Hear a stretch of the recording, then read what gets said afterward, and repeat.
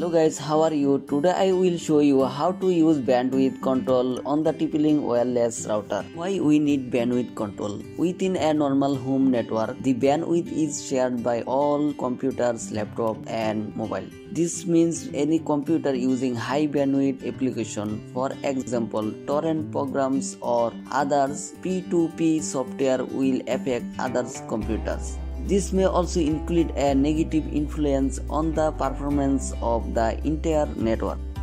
How can we avoid this? The answer is bandwidth control, which is designed to minimize the impact caused when the connection is under heavy load. Using bandwidth control, we can assign a specific minimum or maximum bandwidth for each Wi-Fi connected device, which means they have less interference on each other. When multiple wireless devices like computers, mobiles, and laptops, etc., are connected to any Wi-Fi router, you can face some issues for this device. You can get slow internet or slow Wi-Fi connection, and there is a solution for this. We are talking about router bandwidth controls. Steps to use bandwidth control on router.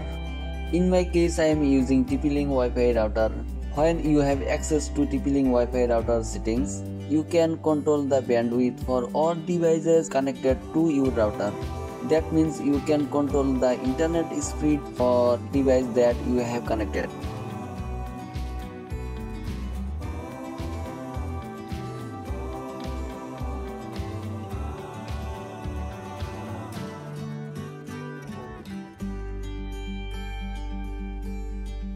Please follow the step to configure this feature. Open the web browser in your mobile or computer and in the address bar type in http clone slash slash 192.168.1.1 or http clone slash slash 192.168.0.1 or http clone slash slash tplink then press enter. The LAN IP change by model please find it on the bottom level of the router.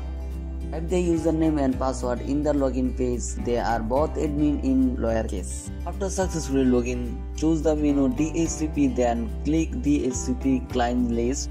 You can view the information about the clients. This page shows client names, MAC address, assigned IP and lease time of each DHCP client connected to the device.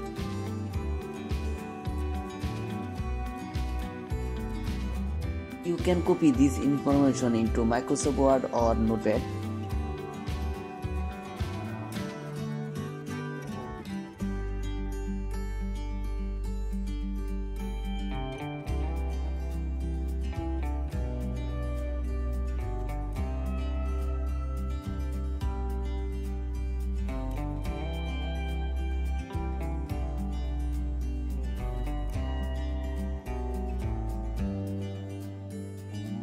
From the dashboard of user interface of your TP-Link Wi-Fi router device, you can easily find bandwidth control for the TP-Link router.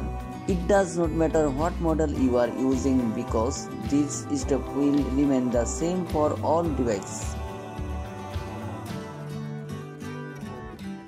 First enable the bandwidth control for this Wi-Fi router device. After choose the line type of connection type you are using it can be either ADSL or any other line. After that, fill two most important details that are egress bandwidth and ingress bandwidth. You can get these details from your internet service providers. Egress bandwidth equal upload speed, the maximum and the minimum upload speed through the WAN port. Ingress bandwidth equal download speed, the maximum and the minimum download speed through the WAN port. Under the bandwidth control rule settings section, click on the add new button and then put the values in the boxes. From the DHCP client list, note down the IP address whose bandwidth you want to limit.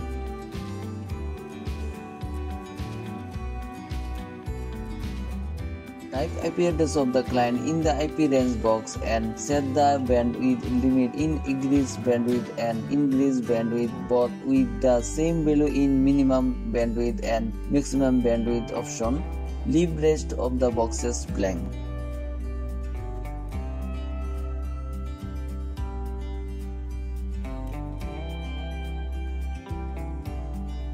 Next, put the bandwidth range like 1 to 100 kilobytes per second or 1 to 500 kilobytes per second according to your wish and then check the enable box.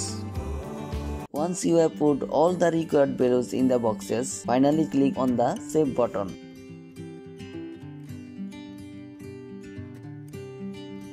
So this is how to limit bandwidth on TP-Link router. From now on, the Wi-Fi user host bandwidth limit you have specified will not be able to use more bandwidth than allowed.